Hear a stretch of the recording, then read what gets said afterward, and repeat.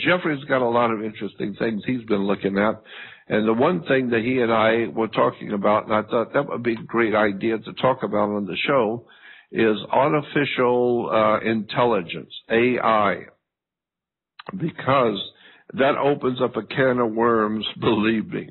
When you look at the subject of, of artificial intelligence, uh, what is going on on the earth today, technologically, and how it is impacting us, we humans, who, you know, the the most important thing to us is the football game and basketball and all the childish, silly, nonsensical little ball games that our masters allow us to drink our beer and eat pretzels and watch the ball game while they uh, are manipulating the destiny of the human race like criminals, but we are out there watching the ball game but there are people like Jeffrey who are very sharp people who are on the cutting edge of this of this world and the artificial intelligence uh, that's being foisted on the human race.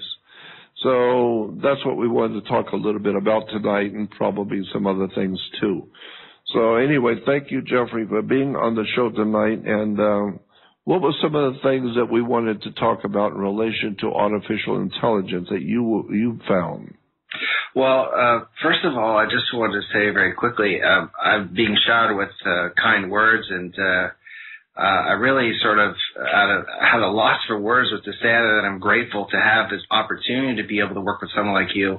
Uh, but to get sort of down to what you and I wanted to talk about, it's sort of interesting you brought up the subject about the intro with, that the U.S. is, is actually a corporation because it, to me, again, everything I'm going to be saying tonight is, is an opinion.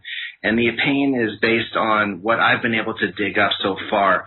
And uh, it'll continue to evolve and grow. But the U.S. Uh, as a corporation, um, it, it sort of leans into two subjects that uh, I've always been fascinated by, and I was actually brought to you. One of them was I was sort of guided to you in my research is secret societies, and you're known as the godfather of secret societies by other people have coined that term for you over the years. Um, I, I, I really have a feeling that, uh, and the other was artificial intelligence we were talking about. I really think that corporations sort of mirror these two subjects. Um, you know, there's even um, very high-placed individuals who have alluded to the fact that a corporation um, is sort of like a precursor to AI, um, and it's an artificial intelligence, and uh, it's just an analog version of it. And, yeah, yeah, I, I think you're right. Yeah, and you know, corporations themselves. Uh, you know, there's, there's the basic definitions and association of individuals and they the creative law and authority of law, and they put their minds together but in reality they're creating something completely different. And that that new entity um, is is again it's like a, a pre-electronic computerized version of artificial intelligence. And what happens is it doesn't want to die. It doesn't want to uh, suffer. It, so what it does is that as soon as it sees there's something wrong what does it do? Well it fires people. And if and if it doesn't want to uh, it wants to protect itself and it needs to hold on to information. It needs as much information as it can so that all those people always reporting. And so when you were talking about the Secretary of State or whatever it was you were saying earlier about the Secretary, it immediately triggers something in my mind. Uh, you know, if you look up the word Secretary uh, on the internet, I think part of the etymology is that it's it's actually I'm, I'm using a small quote here. It's a person entrusted with secrets. That's right. And, That's where the uh, the very word sec secretary implies secret. That's right. And so if you have the Secretary of State, you have the Secretary of Defense, you have the Secretary of Education, and, and it goes on and on and on. Well, what are these people doing? Are they liberating all the information or are they? No, uh, they're keeping it secret. They're for the boss. That's right. And so it's sort of like a, a corporation to me again, this we're just having fun here. We're talking. Is I have a feeling that it's like a mixture of many elements. The two big pieces of the puzzle is that it's like a type of secret society, and it's also a type of, of precursor foundation of artificial intelligence. Yeah, yeah. And uh, and and you know I've I've looked on the net. Uh, you know, again, I'm not an authority on anything. We're just uh, two guys who really appreciate. Um, you know, I'm I'm in your shadow when it comes to the, knowledge that you've acquired over the decades. But uh, we're just two individual men who have decided that we want to dedicate our lives to learning about the world that we're in and how it works. Uh, and to come across this kind of information that a corporation could possibly be a precursor to AI, it's not really popularized and it's not well understood yet. And it's just sort of out in the limb a bit. But you know, uh, well, let, let, let, me let me throw in in relation to what you just said. Uh, uh, you know, there was a time in this country when corporations first were were uh, in you know first brought into the vernacular and our language and into our country uh, the idea of a corporation. But later on, uh, they were just a business. That's all, just a business, like any other business. There's a particular kind of business and where you get certain perks from the government if you're a corporation. But on the other hand, you get certain uh, perks and certain things you can do as a corporation that you can't do in other kind of businesses. But on the other hand, there are corporate laws that you have to now abide by. So, yeah, you get a couple of uh, of uh, little extra things you can do that other people can't do, but then you have some different laws uh, governing your business now. Uh, that's not private. You don't have a private business because a corporation is incorporated by the government. So, uh, so if you've got a corporation, you got certain privileges and certain perks, but on the other hand, you've got the, the government on your back now because they gave you permission to be a corporation. Therefore, they are part of your business. They are a silent partner to your business. Right. Right. And so that being the case, then then um, when when it became known that the government is a silent partner to a corporation, then we find out that uh, you, you know that you also are now under certain laws and regulations as a corporation, and uh, and that corporation now the concept of a corporation has uh, mutated again. It has evolved and mutated so that today a corporation is not only all that I've said, but it's also now, according to the law, has the same rights, protections, and privileges that an individual citizen of the United States has. You know, we're told that we have certain civil liberties and, and certain protections and rights as an individual. Well, now corporations are considered by law in America to be a person. And it goes back, they are, they now have the same rights you do as an individual. And you can do certain things. You can sue people. You can, uh, you can get married. You can do all kinds of things as a citizen of this company called the United States.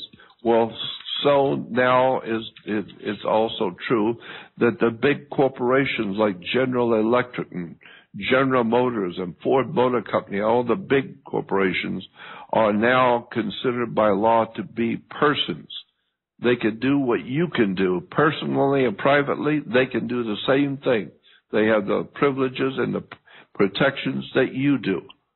So therefore, that now opens up a whole world of hurt because now, if you, uh, if Ford Motor Company or some big corporation, uh, you do business with and they cheated you or you, or you, uh, you know, one of your loved ones died because of something that they did, uh, or didn't do in their product and you want to take them to court, it's no longer an individual, uh, you know, uh, bringing to court a company for what they've done or didn't do. No, no. Now you're bringing to court uh, just another regular individual, just another person. The only difference is they have millions of dollars and 14 different attorneys, and you don't have anything. So, you know, before it was uh, the corporations were under federal regulations, but now they're now they are considered a person like you. So now, if you want to sue General Electric or Ford Motor Company or any other big corporation like Sears or whatever, if you want to sue them, you better have a lot of money because they're just one person. They're just one person that you're suing. And, uh, and they have millions of dollars and many attorneys on their payroll. You don't have anything. And so you're not being protected by your government from these corporations because these corporations live in the same world you do and they act the same way you do. So they are an individual and they're protected. And so now try and sue them and see what you're going to get. The government cannot come in and will not come in to do much of anything. It's between you and General Electric worth hundreds of millions of dollars with you know, with tons of lawyers on their payroll and you want to sue them, well, give it a try and see what's going to happen. So this is why, uh, you know, people need to understand there's a world of difference now.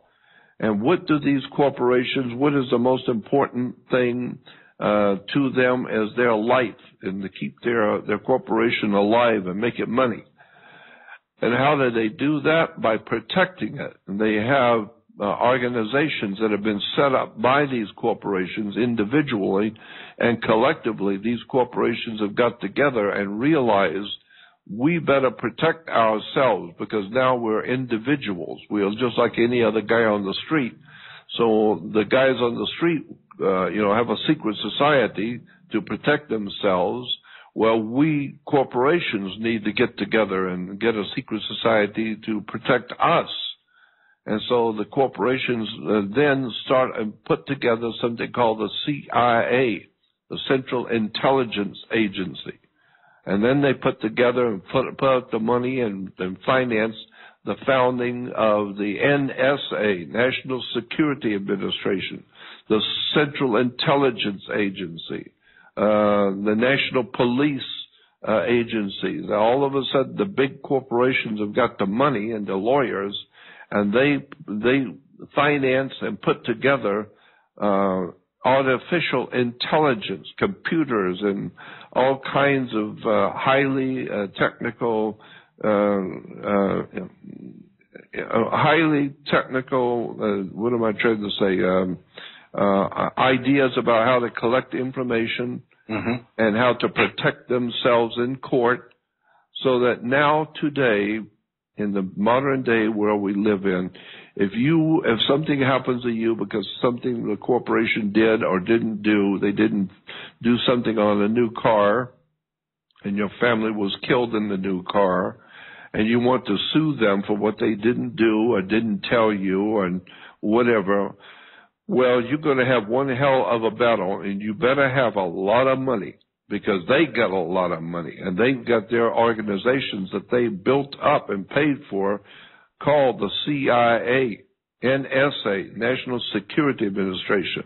All of these uh, enormous, big, powerful so-called government agencies.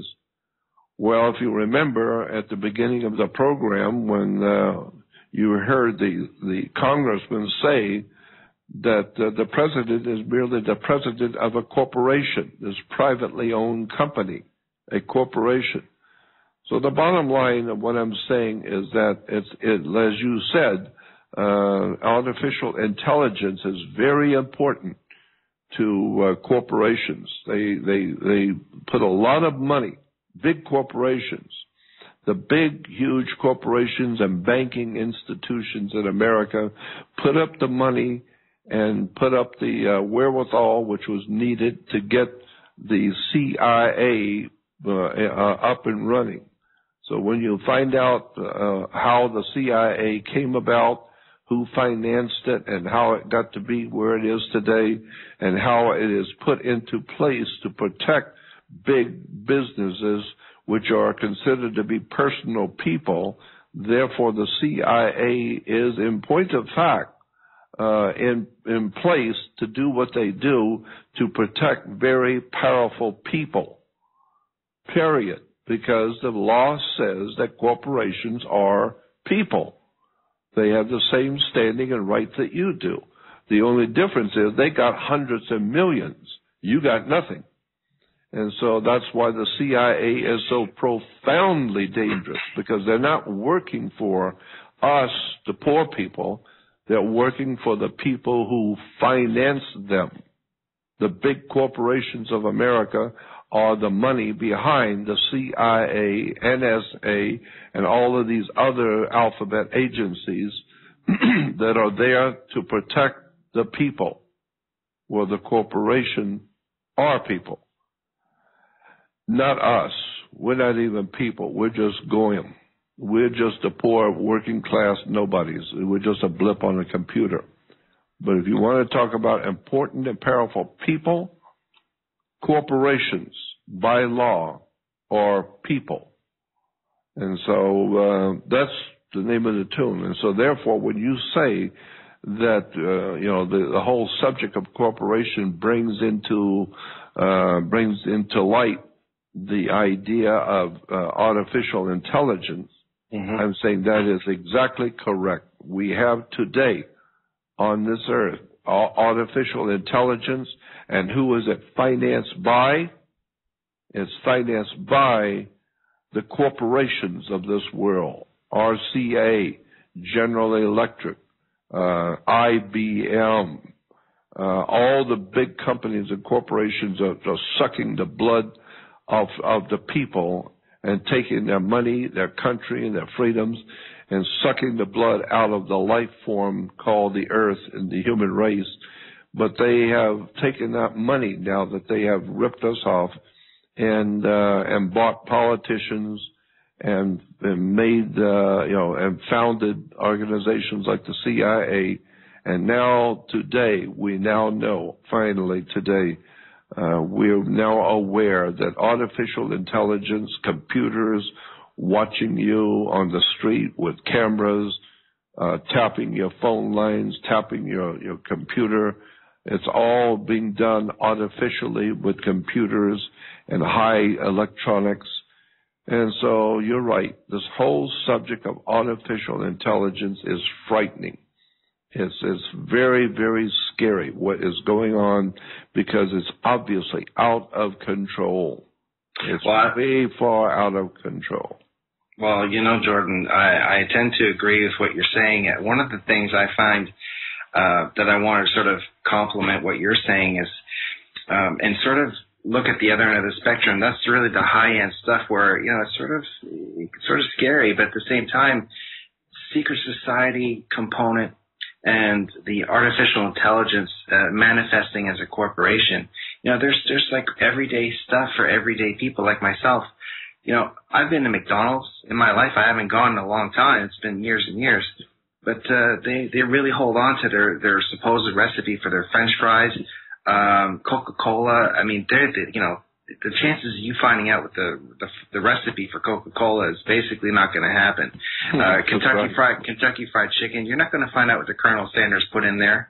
So what you what you are going to find out is when you go into I haven't been to one, but if you, you were to go into a Kentucky Fried Chicken or KFC, you're going to find out that every employee that you're going to meet is simply not going to know that secret recipe but someone in the company does, and it just mirrors the concept of a secret society. It's just like there's a there's a people, there's a certain group of people in that corporation. They know what's going on, they know what they're doing, and they know what makes money, and they know how to make the money. They just need you to help them, and they're going to employ you.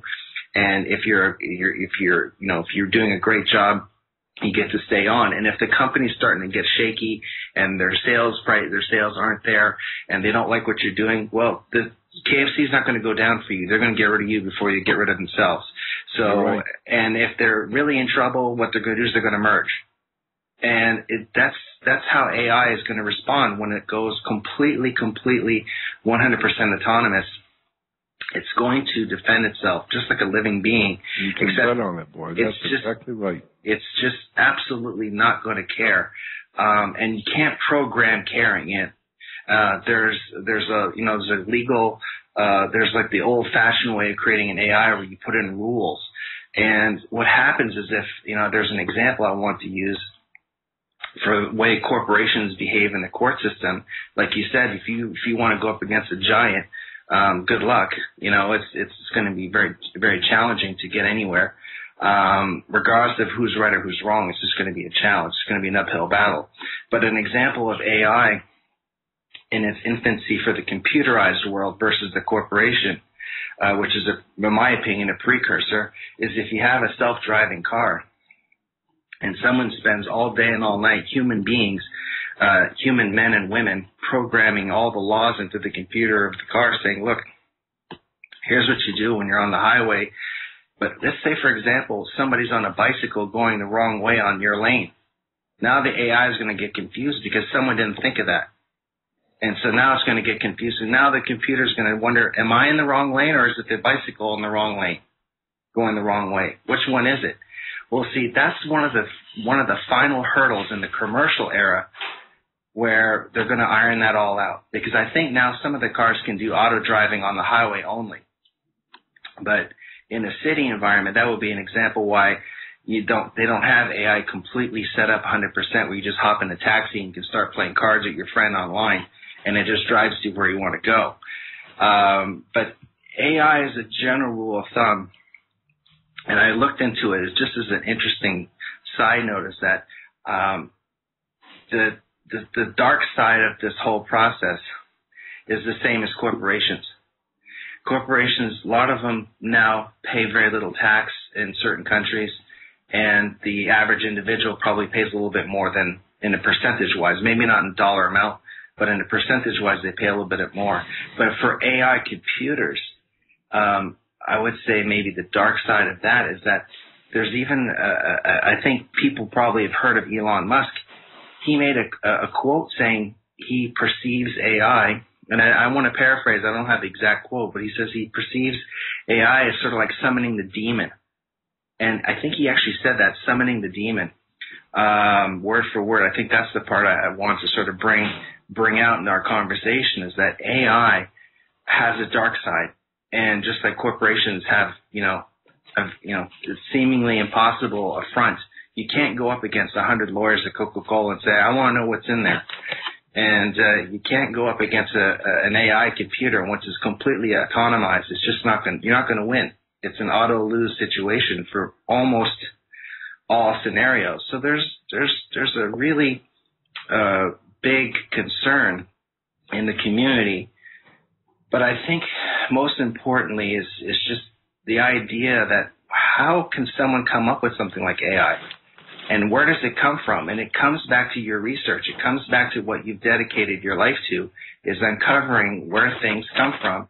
And this whole uh, sovereignty movement stuff that was mentioned in the past and uh, corporations or people that you're mentioning, it starts, in my opinion, that's one of the first milestones of where this all comes from.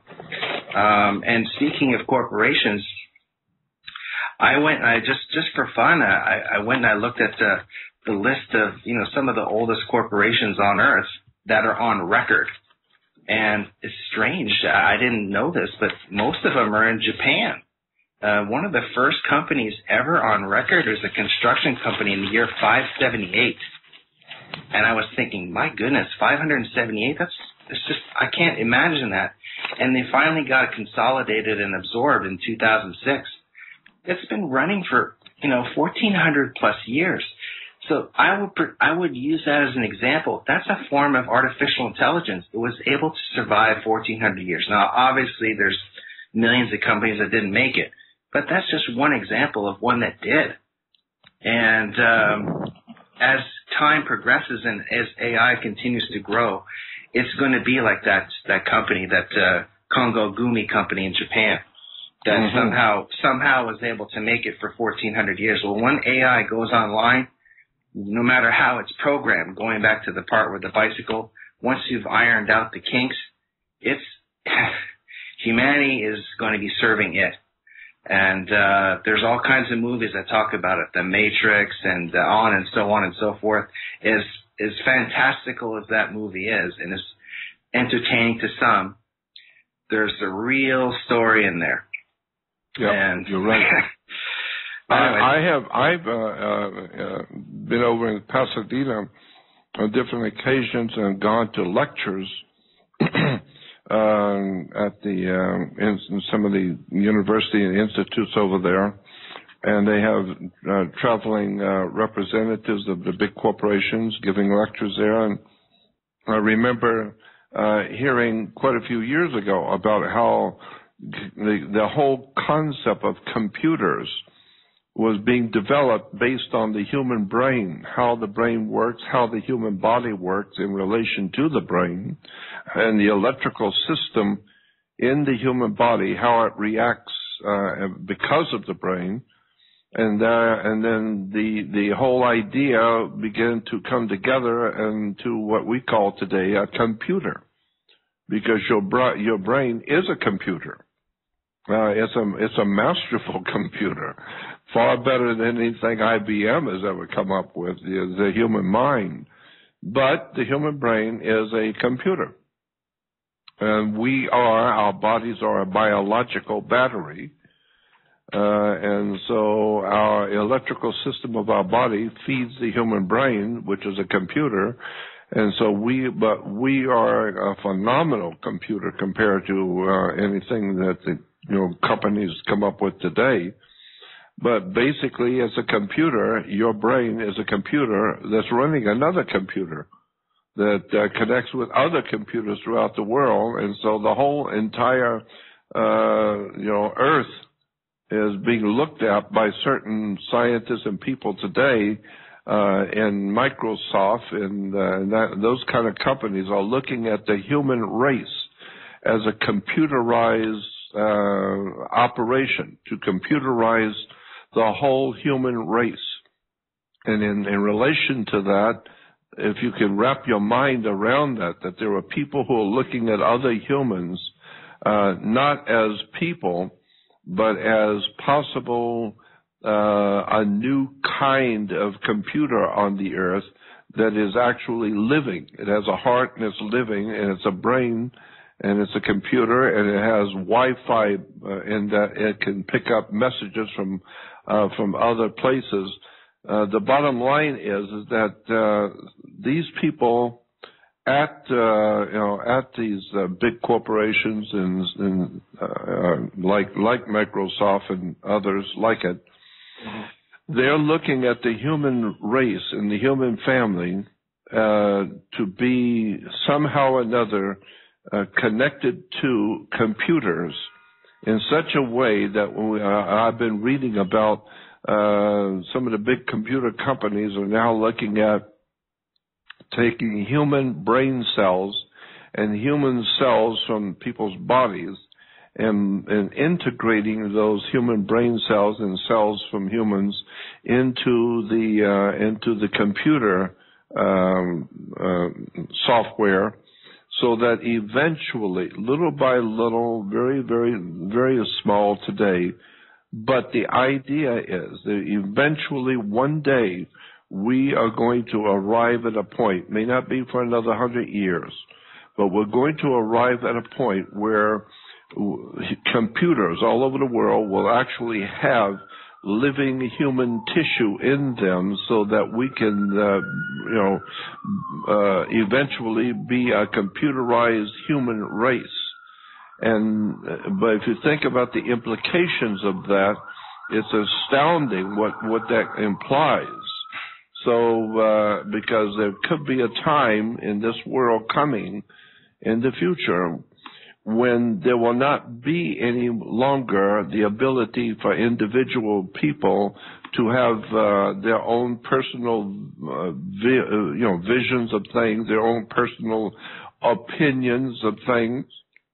If there is maybe 500, 700 years in the future of this country and of the world, in the next few hundreds of years, there very well might be developing, from what the scientists are saying, uh, developing some kind of a civilization which will now be one on one with computers so that now the, the, the masters of the human race, these people who feel that they own the human race, our masters, uh, they don't have to worry. They won't have to worry about revolutions and riots and and people who are you know wanting more money and and uh, and um, uh, demonstrations for for higher wages and all kinds of problems in commerce and banking and business.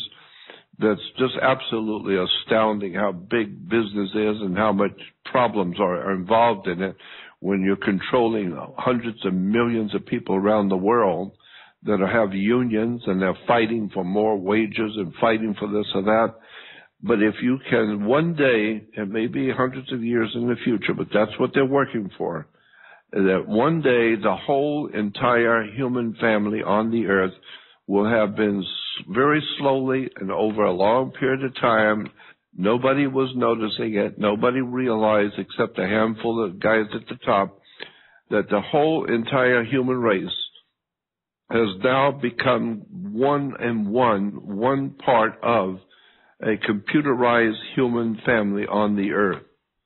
And uh, that's a that's a frightening thought. But keep in mind what the upside of that would be. No longer will there be any wars. There won't be any conflicts. There won't be any uh, individual uh, having problems with government or government having problems with business.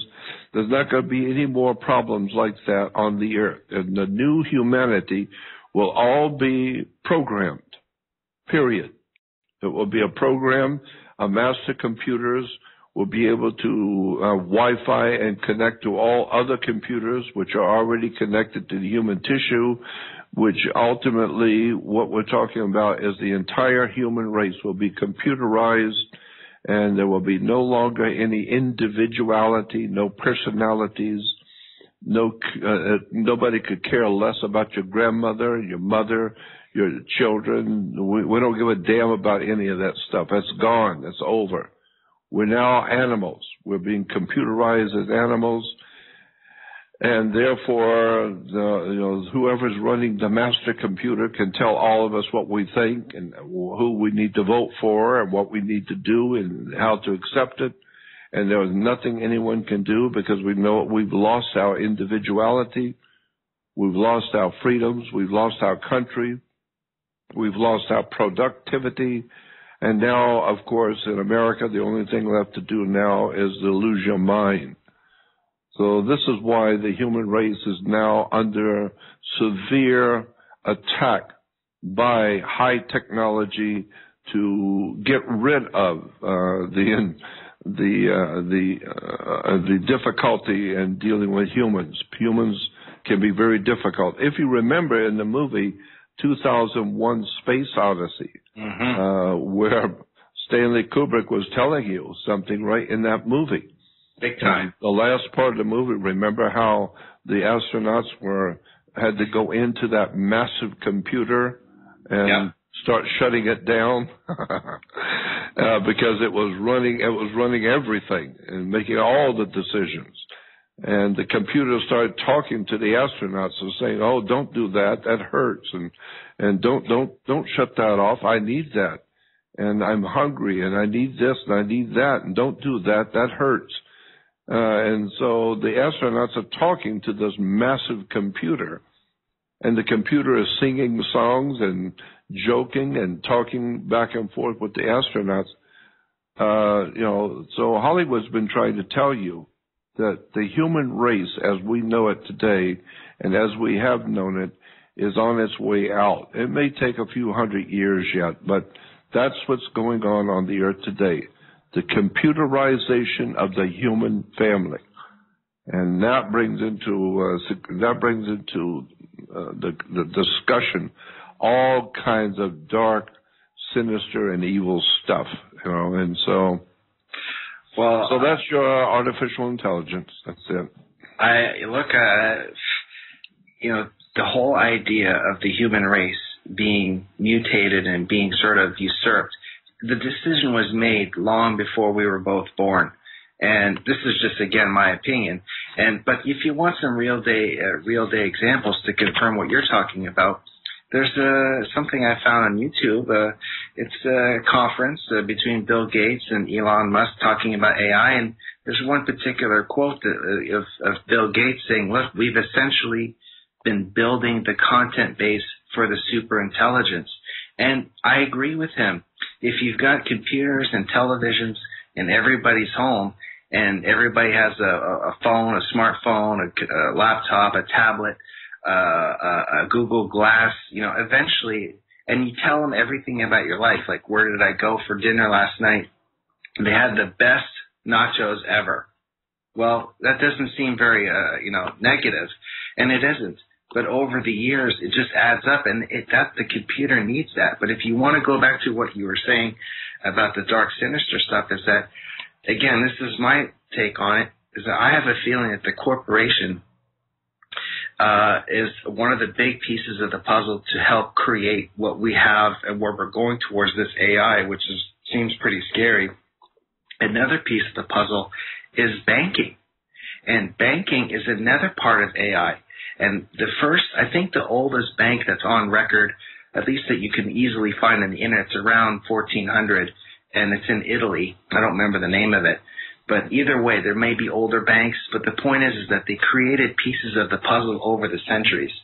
And in the last 2,000 years, you can sort of look at some of the pieces of how this is, how we're able to get to this stage where now, uh, you know, you can talk to your phone, what is it called, Siri on the Apple phones, and you can ask it questions. It can sort of answer some of the stuff. Uh, it started off with corporations, and people would create a brain. And what does the brain do? It, it, it controls a body. It's a corporation. And so it takes 20 people, takes 100 people, and they create, what is it called? A board of directors. What are they directing? The corporation. They have a steering committee. And that steering committee steers the corporation. But you know what? It's not good enough yet to do all kinds of international transactions. So they come up with international banking. And international banking solves some of the problem for financing across great distances because that's that was a solution that was brought into play because just like with computers today, you couldn't yeah in the 80s you couldn't do what you can do today. It just took too much resources, but now today it's easy. Well, what made it possible? To, to have corporations that anybody can open a corporation. Now, back in the day, it was difficult. You had to have, you have to be somebody to open a corporation. Now anybody can open it. Well, guess what? As the AI continues to evolve and jobs become less and less, uh, uh, are going to be displaced. And doctors, a big chunk of the of the work that doctors will be doing will be taken up by AI. Same thing for lawyers, and so on and so forth. The drivers, the taxi drivers. So where's all these? There's going to be new jobs that are going to be created, but probably not enough and they're not really going to talk to you about that. What they will do is they'll try to pass laws, example in the European Union, to give robots a personhood status under the law. Because if you can't, if you have a robot, like they have a robot that flips burgers, and they can flip burgers better than any human. Well, what, how do you keep the country afloat as a corporation? you have to give it a social security number and you have to have a way of taxing it for labor, for parts, to replace the economic infrastructure to continue that Canada continues as a corporation or that the US continues as a corporation. So they have to pass laws to make robots persons. And when they finally become a person under law, you'll be able to shake hands with Google and Apple and and uh, Kentucky Fried Chicken, and you'll be able to meet. And they're going to be paying taxes. It'll be probably set up differently. You'll be able to buy a, a hundred thousand robots, and you'll instead of paying a hundred thousand, you have to pay 125, and the 25,000 is a 10-year tax rate or something like that, so that it keeps Social Security alive, so it keeps um, some of the basic infrastructure going. Because if everybody's out of a job because of AI, the country is going to go belly up. And some probably will, actually. And there's probably going to be a big, big shuffling around. It's not going to be pleasant, probably, for the majority of humanity. But, I wonder uh, if that's the reason. I kind of wonder if that's the reason why that uh, uh, the Georgia Guidestones and and other people were talking about. Uh, you know, they need to get rid of uh, nine tenths of the human race. Uh, it's, it's because I think the people in power know there's something coming like that, and they need to get rid of the people because they're not going to have any jobs for them, and they're not going to give any value. So just get rid of them, kill them off with diseases and chemtrails and everything else, and get rid of them.